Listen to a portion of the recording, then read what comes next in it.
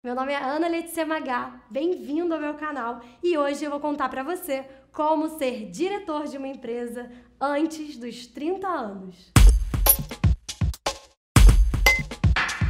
Diretora de marketing e produto de uma multinacional francesa com mais de 500 funcionários, não é nada mal, né? Para agora um pouquinho e pensa como você imagina que é o diretor de uma grande companhia.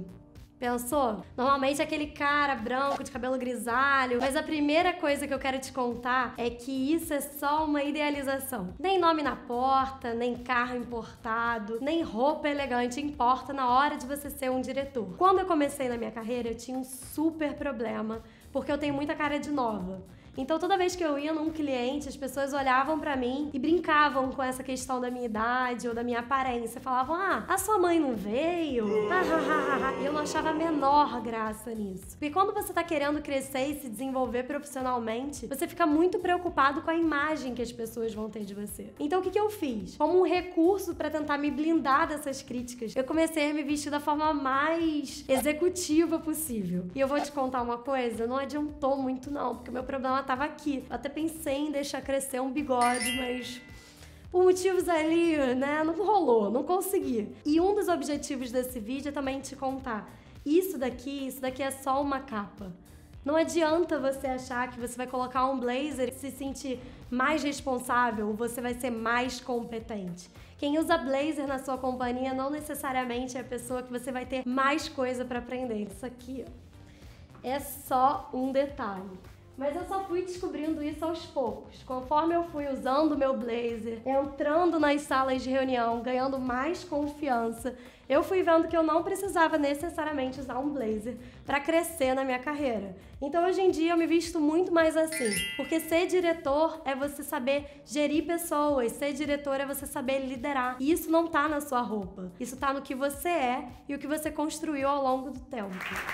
Mas definitivamente uma coisa que me ajudou a ser promovida nesse prazo, ser promovida tão nova, e é uma coisa que você pode prestar atenção na empresa que você trabalha, é sobre o tipo de empresa. Onde a minha carreira realmente deslanchou foi quando eu fui trabalhar em startup.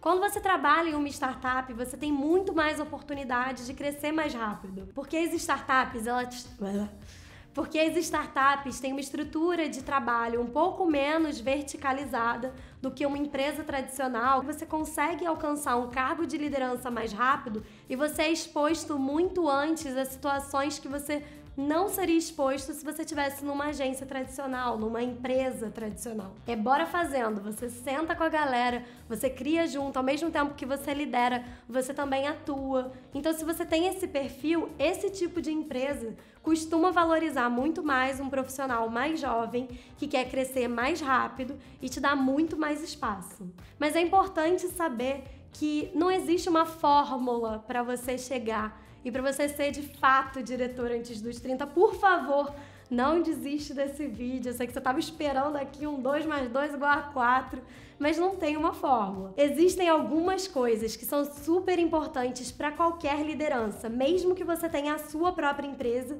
e seja diretor do seu próprio negócio. Você precisa saber liderar um time. Você precisa saber um pouco sobre finanças. Você precisa saber pelo menos mais uma língua, porque isso vai te abrir muito leque, até para você ler referências de coisas que estão acontecendo lá fora, ter pensamento estratégico e saber falar em público também é um super diferencial. Então, quando eu digo que ser diretor é um processo de desenvolvimento pessoal, é porque eu não sei em que estágio você tá na sua carreira. Se você precisa desenvolver uma dessas características, eu já te garanto que é um ótimo lugar para você começar. Eu vou deixar aqui na descrição do vídeo o link do meu LinkedIn. E para quem pensa que LinkedIn é só para conseguir emprego, não é não. A gente tem muito que conversar lá também. Eu escrevo os meus artigos, eu mostro o meu olhar mais estratégico, mais 360, eu tenho certeza que você pode gostar. E no final das contas, não importa se você já tem 30, se você ainda não tem 30, se você já passou dos 30, se você quer ser diretor ou se você não quer ser diretor. Não tem problema, cada carreira é única e ela vai te levar aonde você quiser chegar.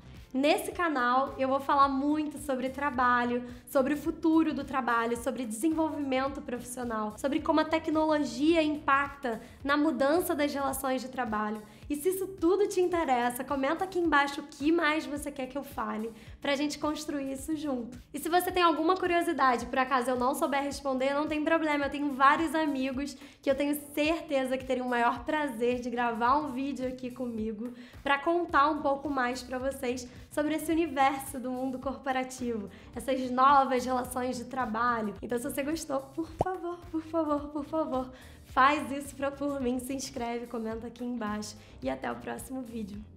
Beijo!